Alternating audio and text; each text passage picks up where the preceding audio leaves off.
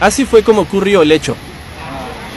En San Francisco de Macorís, un hombre murió este miércoles al caerle una pared mientras se encontraba realizando trabajos de construcción en una columna. Hecho ocurrido en la calle El Carmen, esquina Emilio Prudón de esa ciudad. Hasta el momento, el fallecido solo ha sido identificado como Joan de unos 35 años de edad, oriundo de la ribera del Calla. El propietario de la vivienda, Pablo Tavares, lamentó el trágico hecho, ya que el occiso era un hombre trabajador y muy atento.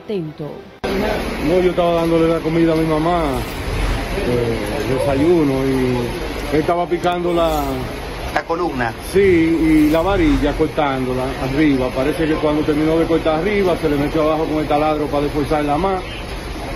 Y ahí le vino arriba la vaina. Y yo le dije, no te le meta abajo, no te le meta abajo. Él es un conocido de un amigo mío que trabajaba con él. Él es dominicano. ¿Es Sí, claro, sí, claro. Estaba ahí Dios. atrás, ya tú sabes. No dio tiempo a nada. No, eh, destrozado, porque aparte de que tengo mi mamá convaleciente, que tengo que atenderla, ahora esta desgracia. Él era de confianza de un amigo mío, ¿Y era había un hecho? trabajador bueno. No, es primera vez que venía aquí, pero, pero al amigo mío le ha hecho mucho trabajo, es un, un buen hombre, tú sabes. Estaba demoliendo, demoliendo la marquesina.